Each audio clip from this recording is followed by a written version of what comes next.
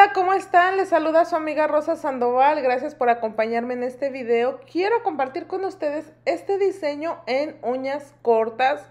Eh, el número de estas uñitas es un número 2 y voy a estar haciendo lo que viene siendo un difuminado. Antes que nada quiero invitarlos a suscribirse al canal. Si aún no lo hacen, suscríbanse, presionen la campanita para que les lleguen las notificaciones cuando subo video nuevo y así les llegará la notificación. Eh, también invitarlos a que dejen dedito arriba, que compartan, eso se los agradezco de todo corazón. Y aquí lo que estoy trabajando es con un acrílico naranja. Este acrílico naranja yo lo realicé hace ya bastante tiempo. La verdad es que no me acuerdo ni cómo lo hice. Pero les ha gustado mucho a mis clientas, lo he ocupado bastante. Y voy a estar trabajando con un, uh, un, acrílico, un acrílico nude, perdón, esta es la manera en que yo hago el difuminado. Ustedes aquí lo están viendo a tiempo real. Es bien, bien, bien suavecito tratar de hacer nuestro difuminado. Como yo les he mencionado en videos anteriores, no es fácil, pero tampoco es imposible. Simplemente es práctica. El difuminado es cuestión de practicar, de practicar, de practicar hasta que se nos logre dar, porque en algún punto se nos va a dar. Recuerden que la práctica hace al maestro y si nosotros practicamos ese difuminado se nos dará voy a hacer el difuminado y voy a estar encapsulando más que nada esa zona de difuminado. Esa zona donde hicimos el difuminado es lo que voy a estar encapsulando para que al no me lo vaya a llevar. Miren, aquí acomodo, acomodo mi perla. También algo que me gusta mucho, que puede ser un consejo, es que cuando yo hago el difuminado me gusta trabajar en dos perlas. Siempre trabajo en dos perlas. Como vieron, primero coloqué una perla y la difuminé. Después vengo a colocar mi segunda perla en área de cutícula y esta también la difumino, pero trato de acomodarla muy bien en el área de cutícula, en laterales. Cuando mi acrílico tiene algún puntito o algo, con la, la punta del pincel trato de quitarlo. A veces algún glitter que se le pega por ahí, pues trato de quitarlo.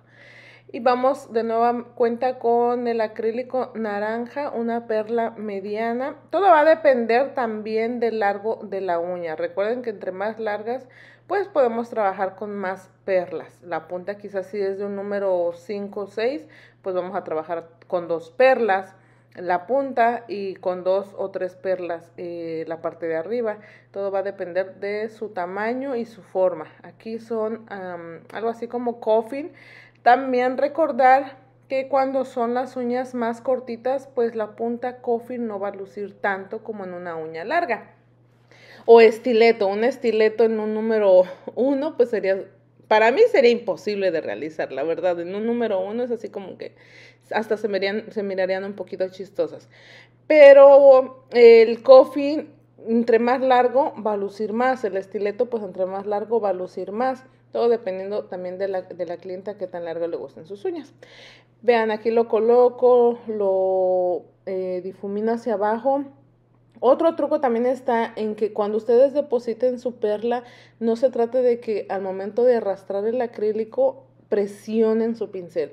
Si ustedes presionan su pincel, lo único que vamos a lograr es que el acrílico se meta dentro de las cerdas y así nuestro pincel se va ensuciando y lo vamos dañando. Así que hay que tener mucho cuidado con esa parte.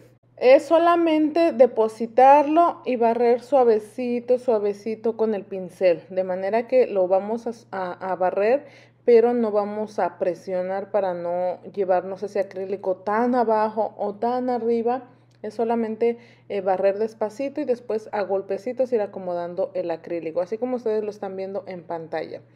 Eh, algo más que también quería comentarles es respecto al sorteo. Recuerden que tenemos un sorteo. A mí por completo se me había pasado ponerles la fecha, pero ya lo que viene siendo, hoy estamos a 5 de abril. Este viernes que sería, a ver, déjenme hacer cuenta, sería martes 5, miércoles 6, eh, jueves 7, viernes 8 de abril. Voy a estar dando eh, las ganadoras, los tres paquetitos, vamos a sacar las personas ganadoras de ese sorteo. Eh, pues por el momento solamente es Estados Unidos y Puerto Rico. De verdad que yo les agradezco a todos, a todos su apoyo y, yo quisiera poder que fuera internacional, pero de verdad que se, se complica mucho por los envíos. Y a veces el envío aparte de que es caro, hay, hay, ocasiones en que las cosas ni llegan, entonces eso se complican muchas cositas. Pero créanme que lo que se los doy, se los doy de todo corazón. Y el viernes 8 de abril voy a estar sacando las personas ganadoras. Ganadoras igual voy a estar colocando el video aquí y en mis redes sociales, Instagram, Facebook, eh, recuerden que los links se los dejo aquí abajita en la cajita de información para las que gusten seguirme en Facebook, en Instagram, TikTok o Snapchat, pues se los dejo en la cajita de información para que por allá vean los diseños que les comparto, que mis trabajos que voy haciendo, porque ya ahorita ya no grabo todos los trabajos, chicas, antes sí los grababa todos, todos, todos mis clientes que iba yo teniendo, pues la emoción, yo grababa todos, pero me iba acumulando de videos, me fui acumulando, me fui acumulando y ahí se me iban quedando bastantes videos.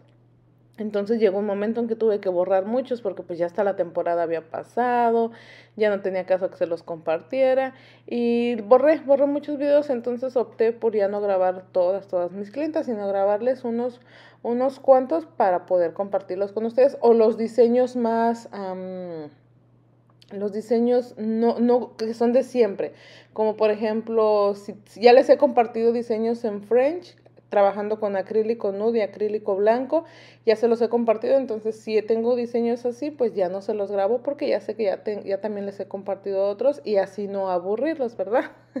que también sé que hay muchas personas nuevas aquí en el canal y se los agradezco, espero que el contenido que les comparto sea de ayuda, que les, eh, les guste también, yo les agradezco mucho por siempre estar aquí. Y aquí miren, vengo con mi acrílico cristal, es una perla mediana la que también tomo. Y le voy a dar con ese el grosor a la punta y voy a encapsular nada más el difuminado. Esa zona del difuminado es la que estoy encapsulando. Eh, y le damos el grosor a la punta. Eso es todo. Después venimos a limar, a pulir y a finalizar nuestras uñitas con el brillo. La verdad es que a mí me encanta y estos tonos me encantan para esta temporada. Son muy, muy bonitos. Pero sí, chicas, porque por ahí me han mandado mensajes eh, de que se les dificulta el difuminado y más que nada es la práctica. Yo también al principio le sufrí bastante, créanme, que cuando me decían que querían un, un, bueno, me traían la foto, ¿verdad? No me dicen difuminado, pero me traían la foto y yo veía que era un baby boomer, blanco y nude, yo así de, ay Dios mío, ay nanita, a ver cómo me sale.